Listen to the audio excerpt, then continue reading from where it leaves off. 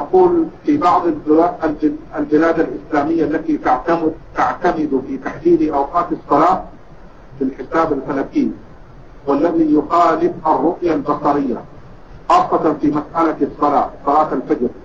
إذا شك المصلون بأن صلاة الصبح قد لا تؤدى في وقتها فهل عليهم التحري أم أن المسؤولية على المؤذن لأنه ضامن لا يكون عندكم شكوك. لا يكون عندكم شكوك في الصلاة. صلوا مع المسلمين والحمد لله. اتركوا الوساوس والشكوك لأن في ناس يروجون مثل هذه الأمور. صل مع المسلمين. إذا صلوا صل معهم.